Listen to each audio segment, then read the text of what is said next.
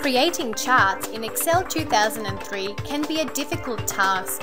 Firstly, we'll need to select the appropriate chart type. Then we'll need to select the data that we'd like to appear in the chart. From this dialog box, we then go ahead and label our axes. And after a little more fiddling, we have our chart. But then we realise the X and Y axes are mixed up. So we go back and reselect the data so it's in the appropriate spot.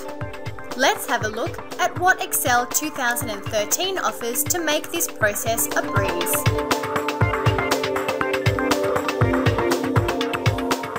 We select the data that we'd like to appear in our chart.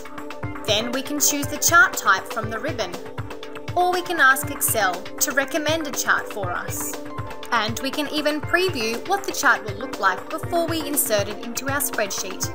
If you've accidentally mixed up your X and Y axes, there's a specific button to switch the rows and the columns in your chart.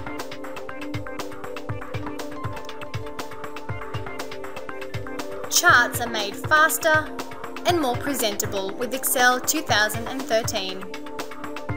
This is just one reason why you should consider upgrading to Office 2013.